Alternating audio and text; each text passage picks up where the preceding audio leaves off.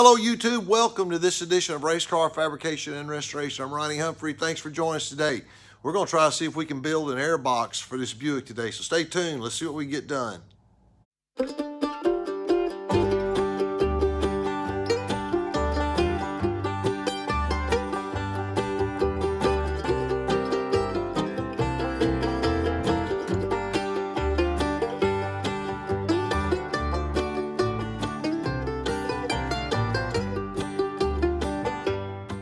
All right, I've got this piece of air box for the cowl. And I'm not sure where this came from. I think this came from our pavement asphalt days. I'm not sure even why it's hinged. I tell you, uh, I can not remember, don't know why. But we're gonna see if we can zip this thing off at the hinge and that's gonna be a starting point. I think I can fabricate this to make it go in. The main thing is this is already bent right here and this has been welded. So that's why I want to try to use this piece here. Uh, I don't have a way, unfortunately, right now to weld aluminum here in the shop. So we're going to try to use this piece here since it's already curved for us. So let's see if we can get this hinge part cut off. We'll start there.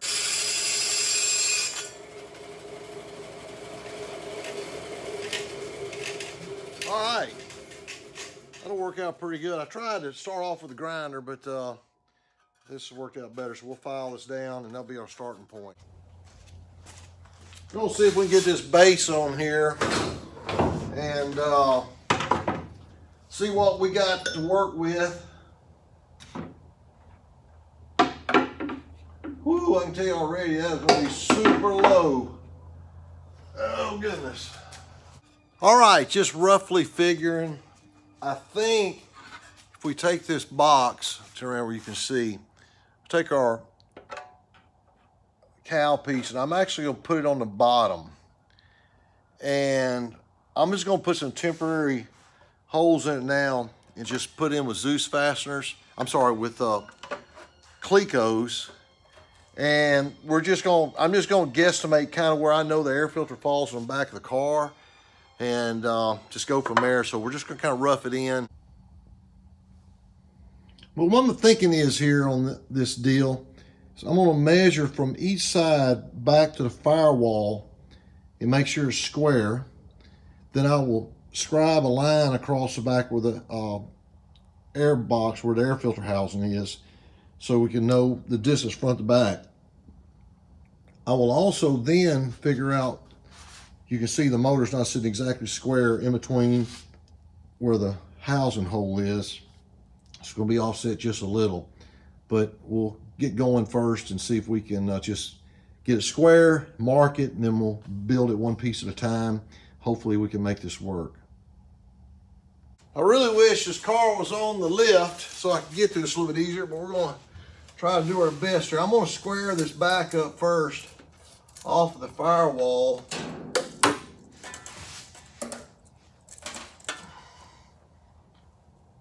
It's exactly three and a half on that side. Wow, three and a half on this side. So, I'm gonna mark this back across here with a marker. That'll locate it as far as squaring it. Then we'll come back and worry about what we're gonna do on these sides here later. But let's get it one, the bottom base piece done first. We're gonna try to mark this very gingerly without moving it.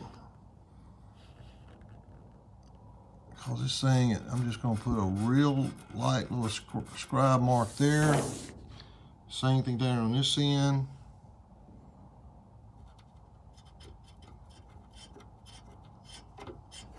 Now, I'm also going ahead and identify this corner here.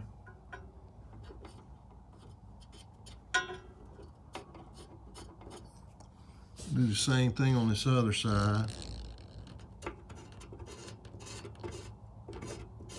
Okay. That should get us started. Okay, we're gonna get our piece back off. Oh, you can see where our marks are. So that should be fine. Now we'll go in there and drill some holes. We'll just put some uh, Clecos to hold it in place. Tell you, it looks pretty square. Well, it's going to be a little bit cockeyed. But uh, that's why I want to measure off the firewall first. But let's get the uh, Clecos in. We'll go from there.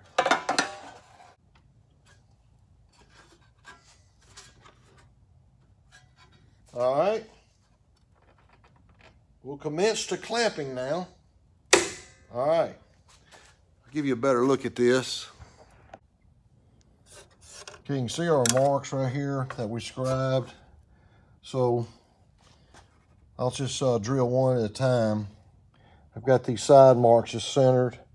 So, because I couldn't get the pin right down against it. So this this will be right the way it is right now. Then we'll go. I may go and pop rivet actually because I don't want to mess with the Dzus. Uh, I'm sorry, the uh, Clecos popping out. So we'll probably go and just put temporary aluminum rivet in here. So that'll be fine. All right, that's one side.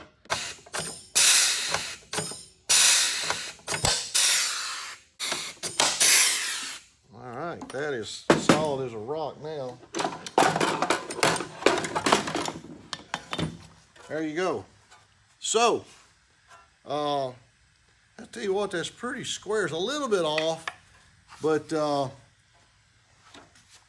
so I want it square to the firewall. Yeah, it is definitely a little bit off, but uh, we may back this up, square it up, but uh, right now I'm letting the firewall be our determining factor.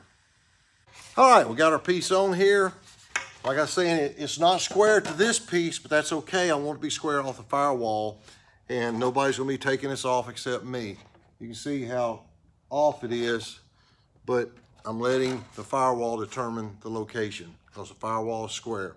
So um, Hey, I may have been some hot setup back in the day. Who knows? So we'll put this back on there and see if this bottom will work. We may go ahead and put a couple more rivets in here just to uh, hold it, but that, that, that's got it good for now. It's just for test fit.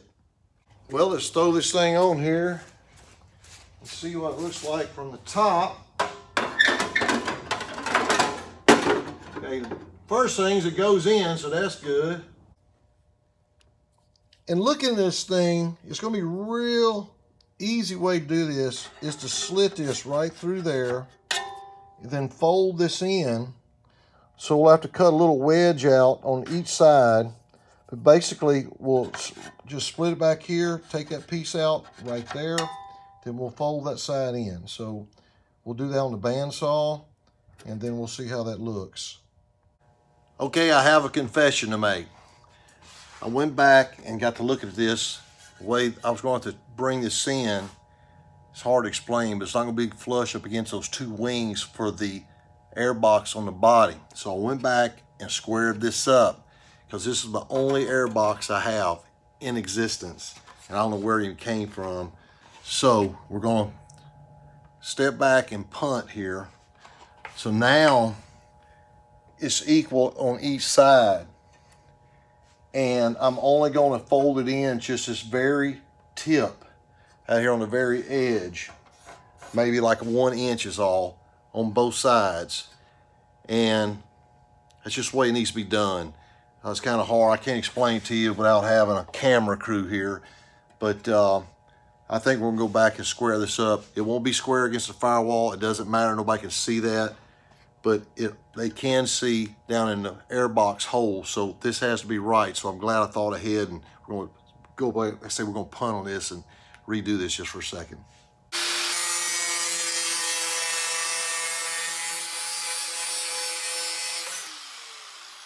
Now, it's kind of easier from the back. You can see this notch I just took out on both sides. Now, I'm probably going to take this, unrivet this now, and simply use the brake and fold this in.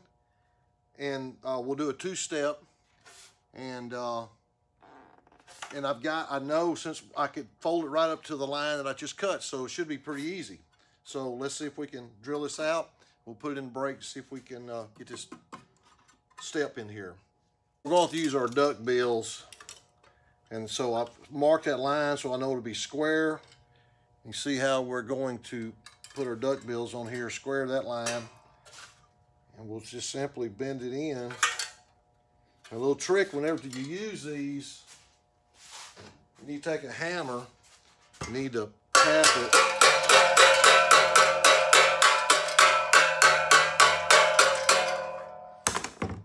That gives you a lot sharper bend then.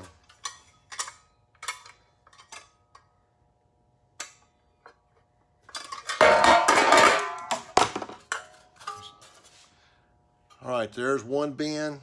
Now we're gonna kick it back that way. Mm, all right. That's what you ended up with, a step now. And that'll be right up against the white portion. Now, in all these holes, I'm gonna have a friend of mine come back and we're going to heliarc all these back up. So don't worry about all the existing holes in here. Now we'll come back on this side now. Well, that's tough to bend back in that direction. Put it down like this. There we go. Get a little leverage on it.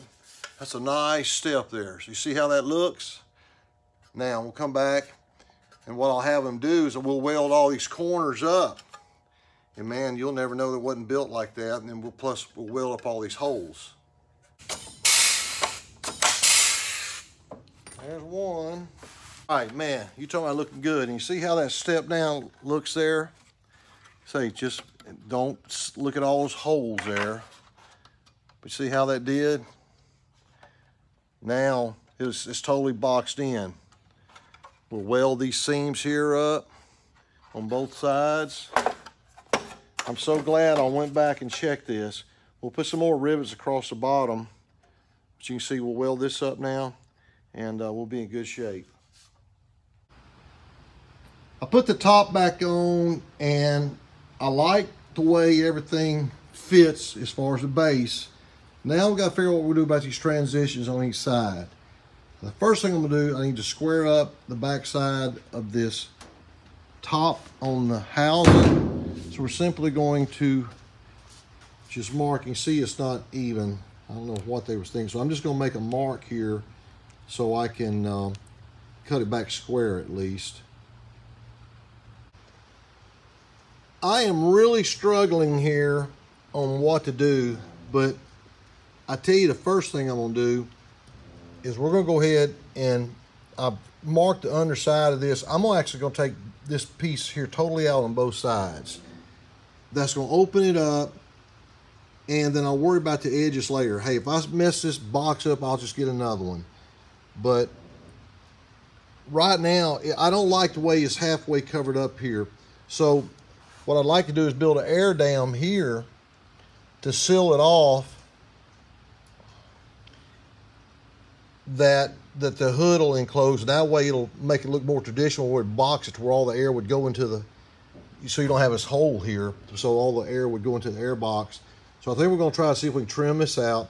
I'm not fixing to really mess up here, but uh, I think we gotta do, take one step at a time. Get this fixed, then we'll have to worry about these edges and how to tie that in. I just uh, not sure on yet how to do that, but we'll do one step at a time.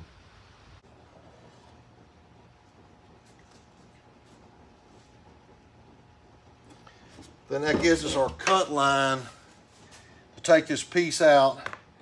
Lord, I hope this works. We're gonna leave these sides on there for now. I'm just gonna cut this top out and at least that'll open up that hole and get rid of all this waste. So we'll do this now.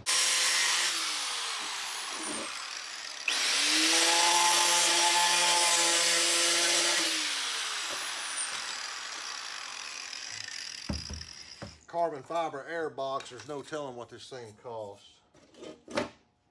All right, we'll blow this off and put this back on there and uh, see what that looks like. Well, I like the way it looks so far. I'm glad I left just at about an eighth of an inch on there. We'll just push the hood down. Yeah, that looks a whole lot better. I know it's a little different, but at least it got rid of all that waste on each side. So the next item of business is trying to figure out how we're going to box in these sides. I think I'm going to wait and do that tomorrow, to be honest with you. So we're going to stop here and we'll pick it up here tomorrow.